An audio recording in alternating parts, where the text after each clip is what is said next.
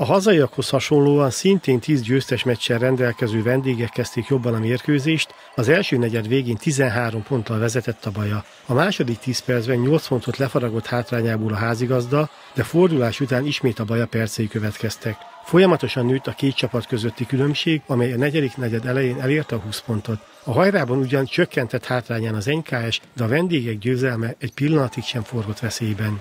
Úgy gondoltuk, hogy hazai pályán azt a fizikai fölényt, amit palánk alatt képvisel ez a csapat, azt mi itthon meg fogjuk tudni oldani, de tévedtünk, mert hogy olyan játékvezetői fölfogást kaptunk, aki, aki engedte a durva néha, én úgy gondolom, hogy, hogy sportszerűtlen játékot is.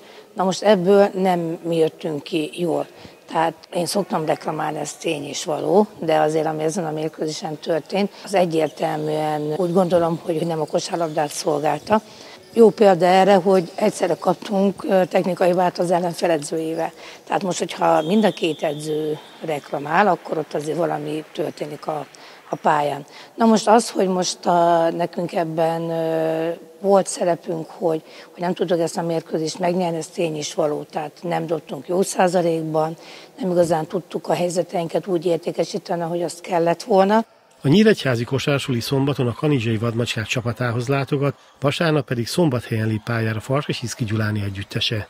Úgy gondolom, hogy szoros mérkőzéseket fogunk tudni játszani.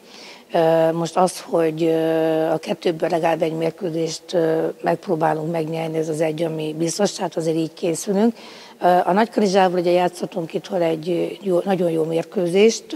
Itt a végjátékban nem úgy jöttek össze a dolgaink, ahogy szerettük volna, tehát itt az volt a hiba, hogy, hogy, hogy elfáradtunk és olyan rossz döntéseket hoztunk, ami, ami, ami, ami nem igazán volt jó, ebből jött a, a vereség. A szombat helye per pillanat még nem játszottunk, tehát uh, ismerjük őket három évvel ezelőtt, hogy körülbelül mi az, amit játszanak, látjuk azt, hogy mely játékosok azok, akik, uh, akik dobnak, uh, látjuk, hogy kinti három pontos dobók nagyon uh, hasznosan és aránylag jó százalékban dobnak, de megpróbálunk erre felkészülni, aztán lesz, ami lesz.